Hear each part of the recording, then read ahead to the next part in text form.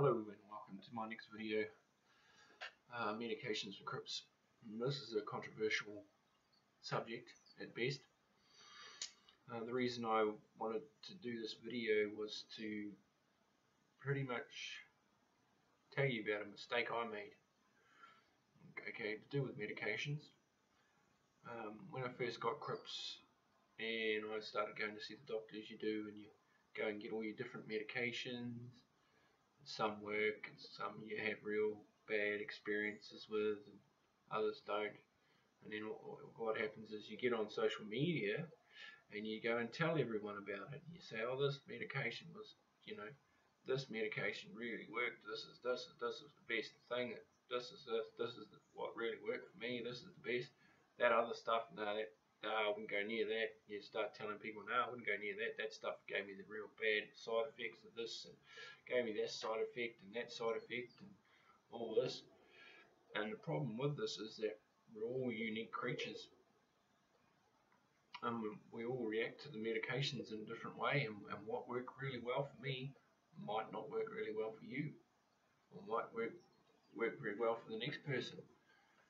So you've got to be very careful on um, what you what you tell people about your medications because it can have a real bad influence on people, especially because people that are in a lot of pain, they're, they're, they're desperate, they're trying to find anything, anything that, that, that can work, and you get on there and tell them about all these great medications that'll work for you and how this is the thing, and then they stop taking those medications and go and see the doctor and want to change, and that could have been the medication that was actually really working quite well for them and then they've, they've got to turn around and try and things and they can have a real bad reaction to the next medication and then they're just back to square one.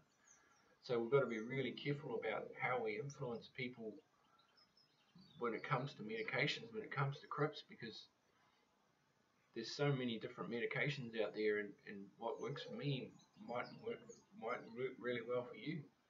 So when it comes to that, is we've really just got to let the doctors let the doctors do what they've got to do and just keep quiet about your medications. Don't tell everyone about what medications you're on and all that sort of thing. If you want to tell some close friends, fine, but don't get on social media and spread it to the world about this great medication when you can influence a lot of people and do a lot more damage than what you are trying to do. And that's pretty much what I did when I first got CRPS and I, and I feel that it, it needs to be, be said. Just leave it alone. Let the doctors do what they've got to do. Let them let them do what they've got to do. Let them decide on what your medications are and who who should well, who should what they should be on and all that. Let the doctors do what they got to do when it comes to the medication side of things.